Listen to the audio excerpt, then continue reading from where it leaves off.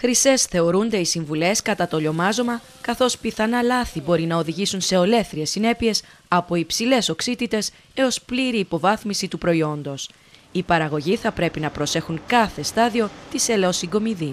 Με αυτές τις ζέστε, η παραγωγή είναι πάρα πολύ εύκολες η επιμολύσεις του καρπού, δηλαδή να ανεβάσει οξύτητα. Θα πρέπει όσο δυνατόν γρηγορότερα μετά τη συγκομιδή οι ελιές να πηγαίνουν στο ελαιουργείο και να γίνεται η ελαιοποίηση.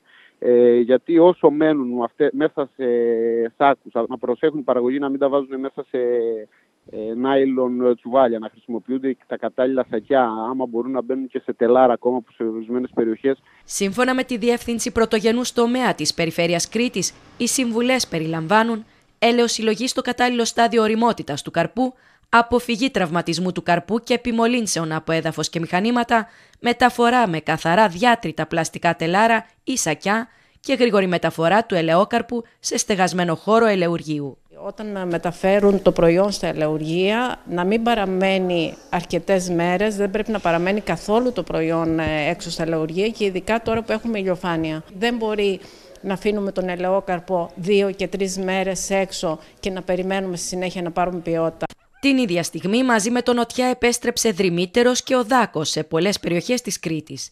Οι παραγωγοί θα πρέπει να βρίσκονται σε γρήγορση, ενώ διαφορετικές απόψεις υπάρχουν για το αν θα πρέπει να προβούν σε ψεκασμούς. Ε, ήδη οι παραγωγοί μας ε, συλλέγουν το προϊόν, να συνεχίσουν να το συλλέγουν, γιατί αυτή τη στιγμή δεν μπορεί ούτε η περιφέρεια, λόγω ότι έχει τελειώσει και έχει ολοκληρωθεί το πρόγραμμα καταπολέμησης του δάκου της ελιάς, αλλά και οι παραγωγοί δεν θα πρέπει να έρθουν με παρεμβάσεις, γιατί δυστυχώς θα υπάρξουν αργότερα υπολείμματα στο προϊόν και αυτό θα είναι άσχημη συνέπεια για το προϊόν της Κρήτης. Σίγουρα υπάρχει ένας κίνδυνος ε, πάντα με αυτό. Πρέπει οι παραγωγοί να το έχουν στο μυαλό τους. Όμως υπάρχουν μάλλον τρία εγκεκριμένα σκευάσματα αυτή τη στιγμή που ακόμα και για ψεκασμό κάλυψη είτε για δολοματικό ψεκασμό έχουν 7 μέρες πρώτης συγκομιδής.